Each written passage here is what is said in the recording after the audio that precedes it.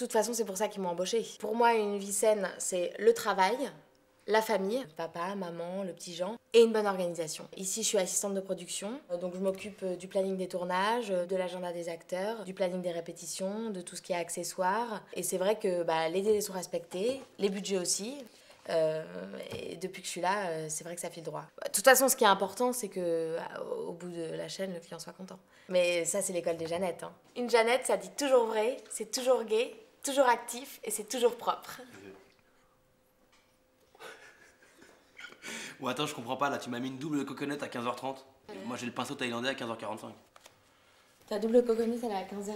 15h Attends, mais il faut que j'aille me gonfler là. Et c'est où? Euh, Studio Framboise. Ok. Sans rancune.